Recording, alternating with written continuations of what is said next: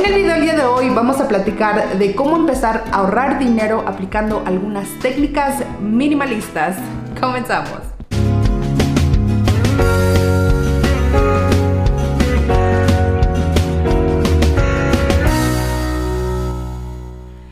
Están el día de hoy? Espero se encuentren del mejor. Bienvenidos a una página más aquí en el diario de Mariela. Si eres nuevo por acá y no me conoces, hola, yo me llamo Mariela y te doy la más cordial bienvenida aquí por mi canal. Yo hago videos de minimalismo, de organización, de cómo hacer videos en YouTube y todo lo que tenga que ver con vida de señora o señora live tengo lista de reproducciones en mi canal y si te interesa alguno de estos temas, pues considera suscribirte en el botón rojo que está aquí en la parte de abajo. Hace algunos días hice una encuesta aquí por mi canal donde les preguntaba qué video querían ver esta semana y el 72% de las personas que respondieron a esa encuesta dijeron que querían ver este video, así es que muchísimas gracias por participar en esa encuesta. Este video lo voy a dividir en dos partes. La primera parte vamos a platicar de qué relación tiene el dinero contigo yo sé que muchas veces no nos hacemos esa pregunta, pero es muy necesaria para que después lo que te voy a compartir lo puedas aplicar efectivamente. Hay dos grupos específicamente donde pues la mayoría de los seres humanos pertenecemos. Está el grupo A y el grupo B. Personas que pertenecen al grupo A son el tipo de personas que le dan el, le dan el protagonismo al dinero eh, este tipo de personas usualmente tienen muchas deudas, tienen problemas económicos muy, muy, muy, muy elevados. Son personas que nunca les sobra el dinero, siempre carecen del dinero y siempre están detrás del, del dinero. Son ese tipo de personas que no les puedes dar unos 50 dólares o 100 dólares porque ya se los quieren gastar o ya quieren meterse en una deuda nueva. Y luego está el grupo B, donde son este tipo de personas que el dinero sí es importante, pero lo utilizan como es una herramienta y un medio. No son tan fanáticos como o aferrados al dinero, pero saben que juega un rol importante, pero no le dan el protagonismo a ese dinero. En lo personal, hace algunos años yo era del grupo A eh, horrible porque ganaba muy bien, no sé en qué se iba mi dinero, siempre andaba sin dinero a pesar de que ganaba mucho, nunca obtuve cosas grandes o importantes por lo mismo, porque así como llegaba el dinero, así me lo gastaba, no sabía absolutamente nada de finanzas, hasta la fecha sigo aprendiendo, pero definitivamente pertenecía a este grupo A. La vida justamente fue la que me enseñó a pasar del grupo A al grupo B. Te voy a explicar de una manera más fácil por qué es muy importante tener una relación muy buena con el dinero haciéndote esta comparación. Supongamos que el dinero es una persona y no es como una herramienta o un medio. Supongamos que es una persona y se llama señor dinero. Al señor dinero le llegan dos tipos de personas a su vida. Una son el tipo de personas que son muy aferradas, muy... Eh, hostigadoras y llega otro tipo de persona que son súper amistosas, súper amigables, quieren una relación sincera con el señor dinero, ¿ok?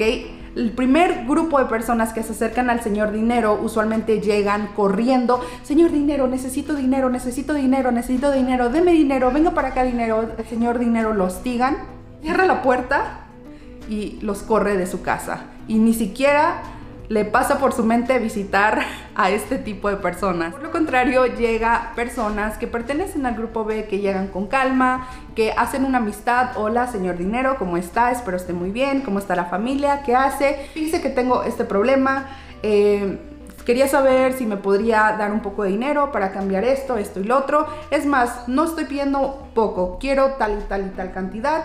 ¿Cree que es posible? Y al señor dinero, obviamente, como cualquier otro ser humano, le gusta este tipo de amistades, porque no solamente es una amistad sincera, sino que no es tan hostigadora como el primer grupo. Yo sé que es un poco chistoso lo que te estoy diciendo, pero ponte a pensar en eso, en verdad, qué tipo de persona eres y qué tipo de relación tienes con el señor dinero. Eh, realmente el dinero solamente es una herramienta como un teléfono, como cualquier otra cosa, pero la persona que posee esa herramienta es la que va a manejar el dinero y no el dinero va a manejar a la persona. Creo que ya entendiendo esto ya podemos pasar a la segunda parte. La primera técnica que te voy a compartir es una de las técnicas que mi esposo y yo utilizamos eh, cuando decidimos ahora sí empezar a tener una buena amistad con el señor dinero, no quiero decir que fue un camino muy perfecto, creo que nos tomó tres intentos para poder agarrarle la onda, pero esta técnica funciona de esta manera. Lo que vas a hacer es que en una libreta vas a apuntar tus gastos que haces mensualmente y los vas a dividir en tres canastas. La primera canasta siendo tu renta, la segunda canasta siendo tu comida y la tercera canasta siendo tus utilidades. Ya teniendo tus tres canastas listas, ahora vamos a ver cuántas veces te depositan o te pagan al mes. Cuando nosotros lo empezamos a hacer eran cuatro depósitos por mes cada viernes, entonces se nos hacía un poquito más fácil y lo que hacíamos era lo siguiente.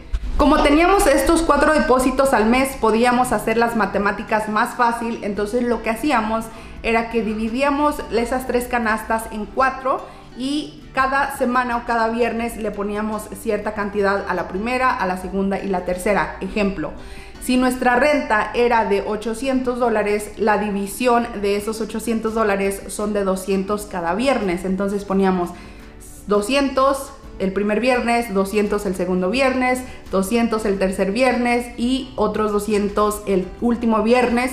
Y ya para el último viernes ya habíamos completado la renta. ¿Me explico?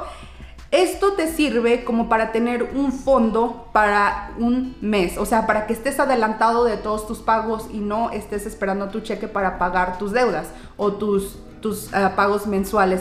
Esto, como les dije, nos tomó tres intentos para que a la tercera fuera la vencida. Por eso te digo que esto es muy importante hacerlo y no te va a salir a la primera y está bien. Síguelo intentando, síguelo intentando porque todo esto es un aprendizaje. Agregado a lo que te acabo de, de decir, de dividir tus canastas y ponerle cierta cantidad cada que te depositan, pues lo que nosotros también hacíamos era que teníamos sobres y en esos sobres poníamos dinero para que eh, lo utilizáramos para ciertas cosas. Ejemplo, teníamos un sobre donde le poníamos 5 dólares o 10 dólares para comprarle ropa a las niñas cada dos meses o tres meses.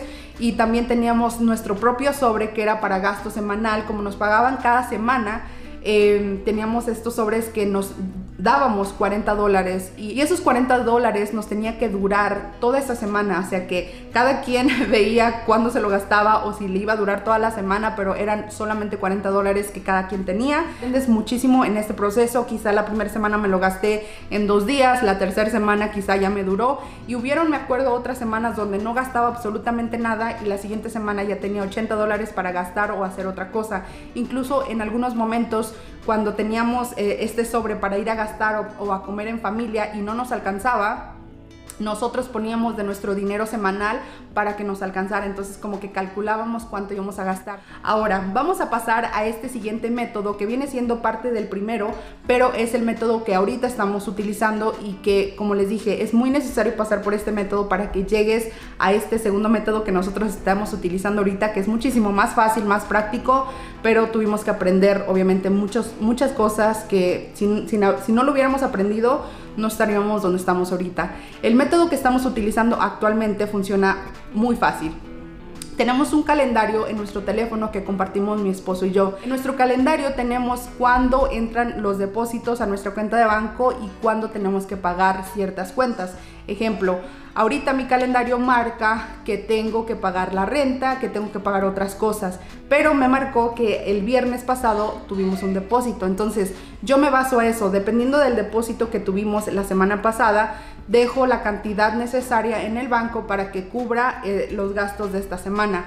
Entonces, eh, se puede decir que de esa manera nosotros nos organizamos más, a veces tenemos que depositar más, como por ejemplo ahorita que viene la renta. Si una semana no tenemos más que un gasto o un bill o algo, solamente dejamos eso y algo más para lo que vayamos a necesitar y después todo lo sacamos y lo manejamos en nuestras canastas que les acabo de explicar. Amigos, no encuentro el clip donde les explicaba el, eh, pues lo más importante que era de los ahorros, qué pasa después con el dinero que sobra. Entonces les voy a explicar qué es lo que pasaba en nuestro caso. Después de dividir nuestras tres canastas, utilidades, renta y comida, teníamos otros sobres aparte que había uno muy importante que era el de los ahorros. Supongamos que nos sobró 500 dólares después de dividir esto. Esos 500 dólares los dividíamos con estos otros sobres. Entonces el más importante era el de los ahorros. Le pondríamos quizá unos 350 dólares, 380 y el resto lo dividíamos en, el, en los otros sobres. Entonces teníamos sobres como ropa para las niñas, eh, donaciones, teníamos eh, como gustos caros. Si queríamos comprar algo que valiera más de, no sé, 100 dólares, ahí en ese sobre lo poníamos y era muy efectivo porque sabíamos exactamente dónde estaba el dinero. Y eso era lo que les quería comentar que debe de tener un sobre de ahorros para que ese también sea uno de los más importantes. Estos son los dos métodos que nosotros utilizamos eh, al principio y el que estamos utilizando ahorita. Te los recomiendo demasiado. Ahora vamos a pasar al segundo método donde vamos a ahorrar de dos maneras. La primera es que vas a ahorrar al momento de comprar tu despensa y la segunda es que no vas a gastar dinero de embalde porque no se te va a echar a perder tu comida. Este método lo empecé a aplicar y aprender cuando empecé a involucrarme en el minimalismo y es algo que me encantó y me cambió totalmente la vida. Lo que debemos hacer es lo siguiente. Antes de ir a comprar tu despensa debes de hacer una lista específicamente de lo que vas a cocinar en la semana para que en otra lista apuntes los ingredientes que te hacen falta y solamente vayas a la tienda, a la marqueta, al mercado a comprar lo que realmente necesitas. De esta manera te estás ahorrando de verdad muchísimo dinero porque sabes específicamente lo que vas a usar en esa semana. Te vas a dar cuenta conforme vayan pasando los días de la semana, tu despensa, tu refrigerador se va a ir vaciando conforme vayan pasando los días. Aquí en Estados Unidos creo que los hispanos tenemos una costumbre muy arraigada. Tienen el refrigerador y el congelador repleto de cosas ahí que hasta a veces flojera les da abrirlo porque ya ni saben qué tienen. Entonces siento que esto también es muy importante tenerlo en cuenta de que tener una despensa muy organizada te va a quitar y te va a ahorrar muchísimo dinero. Esto te lo recomiendo muchísimo. No importa que seas una persona casada o que seas una persona soltera, el aprender esto definitivamente te va a ahorrar muchísimo dinero a largo plazo. El tercer método que te va a ayudar a ahorrar dinero es no ir a las tiendas o no comprar cosas cuando estás mal emocionalmente. Posiblemente en algún momento de tu vida tú hayas utilizado estas palabras. Cuando te preguntan, ¿a dónde vas? No, pues voy a la tienda. ¿A qué? Pues no sé, a ver. Y ese haber se convierte en un carrito lleno de cosas que cuando estás a punto de pagar, la conciencia como que se te empieza a despertar y dices, espérame, estoy segura que esto voy a comprar y quizá unos momentitos antes de entrar a la registradora empiezas a dejar cosas por ahí, empiezas a dejar cosas por allá, pero tú te sigues convenciendo que lo que tienes en el carro sí las vas a necesitar y si las necesitas, entonces prosigues a pagar y todavía estando en la registradora estás pensando como que... Eh, ¿Será que sí me va a alcanzar? ¿Será que sí lo voy a necesitar? ¿Será que no me voy a arrepentir después de comprar estas cosas? Y aún así pagas y ya que llegas a la casa te convences de que hiciste una muy buena compra porque ya sea que fuiste a la tienda o enojada o frustrada o aburrida y por eso es que saliste con el carro lleno de cosas por eso es muy común ir como a esas tiendas grandes que nada más vas como por una leche y sales con el carrito lleno porque tu mente empieza a dispersar a dispersarse y empiezas a agarrar cosas que de verdad no necesitas. Por lo contrario, cuando llevas una lista y sabes específicamente lo que quieres, no compras emocionalmente. Siento que las tiendas y todos los supermercados son buenísimos en hacernos comprar cosas que no necesitamos manejando nuestras emociones. El método número 4 es una de las cosas que yo he estado utilizando desde que aprendí sobre el minimalismo y es usar lo que tienes en casa antes de salir a la tienda y comprar. En lo personal, yo aplico este método mucho en la ropa y los zapatos. Antes de salir a las tiendas y comprarme un nuevo par de zapatos o una muda de ropa, lo primero que yo hago es depurar y ver qué es lo que ya no uso, lo que ya no me sirve y así después salir como que ya a reemplazar lo que ya no tengo en mi closet. En lo personal no paso de 10 pares de zapatos y esos 10 pares de zapatos al momento los estoy utilizando hasta que ya necesite reemplazar otro par de zapatos. Eso te lo recomiendo mucho porque créeme que aquí en Estados Unidos, no sé si esto aplica para otros países, pero también desafortunadamente se acostumbra a tener los closets eh, llenos, repletos, hasta más no poder de ropa, ropa que te queda, ropa que no te queda, ropa con etiquetas porque de verdad que son muy buenas las tiendas en bombardearnos sobre las especiales, eh, la importancia de tener muchísimas cosas de todo. En lo personal salí de esa cadena o de eso burbuja hace mucho tiempo, entonces esa es mi invitación principal. Imagínate cuánto dinero vas a ahorrar si solamente aplicas esto a tu vida. lo quiero la número 5 es más que nada como un consejo que te quiero dar de amigos, porque si yo hubiera sabido este tipo de cosas a los 20, a los 21, no hubiera cometido tantas burradas, amigos, que de verdad, eh, no sé, las hubiera podido evitar. Lo menos que quieres hacer es ponerte en una deuda. No importa que sean 500 dólares, 600 dólares, 100 pesos, 200 pesos. Es una deuda y por ley deuda llama a más deudas. Yo conozco personas, o más bien hace muchos años conocí a personas que tenían tarjeta de crédito para todo, amigos, para todo. Y siempre eh, estaban llorando por el dinero, nunca les alcanzaba el dinero, siempre estaban, ah, no sé, su vida era muy frustrante porque tenían tantas deudas que apenas y como que se sacaban la cabeza del agua de tantas deudas que tenía. Y una vida así, amigos, no es para nada grata. Créanme que las personas que yo he conocido con tantas deudas no viven feliz, no son felices y siempre están preocupadas por el señor dinero. Entonces evita a toda costa eso. Si necesitas comprar algo de valor grande, mejor ahorra. Así te tome seis meses, pero ahorra mejor. Te lo digo de todo corazón porque yo he tenido deudas, muchas deudas y es horrible amigos. Voy a contar algo muy personal para que veas de dónde vengo y hasta dónde estoy ahorita. Eh, hace algunos años yo tenía una cuenta de celular que es la misma que tengo ahorita, pero esta cuenta de teléfono ya daba la facilidad de no pagar un, mes y que se fuera acumulando. Es decir, yo podía pagar 40 dólares de mi cuenta de 100 y, esos, y el resto se acumulaba para el siguiente mes.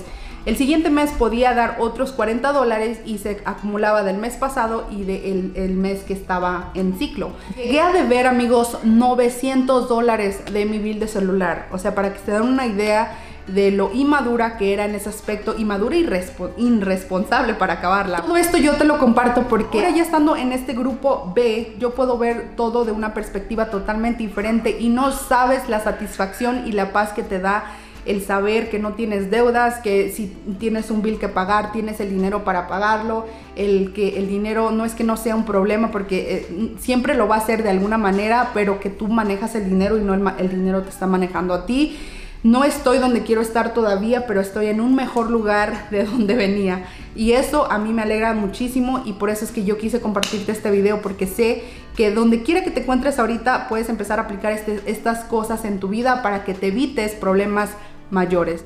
En los comentarios déjame saber a qué grupo perteneces, te lo prometemos que no le vamos a decir a nadie, no te vamos a juzgar, pero sí es necesario como que hablar de este tema para que ya se vuelva algo normal y lo podamos hablar y podamos aprender y podemos mejorar este aspecto de nuestra vida porque de verdad es muy importante aprender esto.